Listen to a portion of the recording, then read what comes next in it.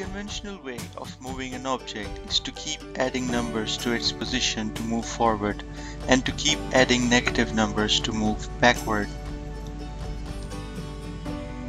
In chipmunk physics, we cannot move an object by keep changing its position. Rather, chipmunk physics offers a delicate and artistic method to move an object by applying force to it.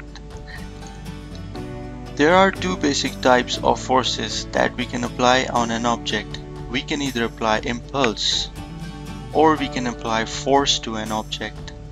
An impulse is a very large force applied over a very short period of time, whereas force is a large force that has a long-lasting effect on an object. Both impulse and force affects the mass of an object. Doubling the mass of an object will halve the effect of forces. Let's discuss the code. In order to apply force, we point to entities and then point to CyMunk physics system through physics variable.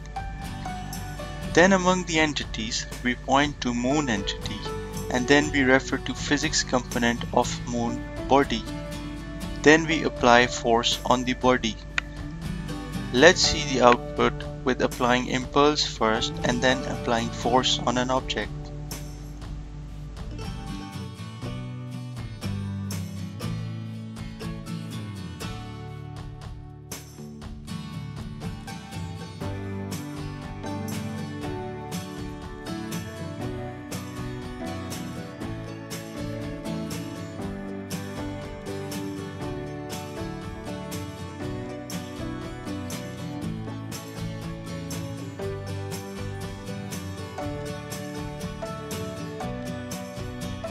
To learn more about physics body, we can type in help and in parentheses we can type in body. That will bring out the documentation of the body and we can read in more attributes to play around with the physics body.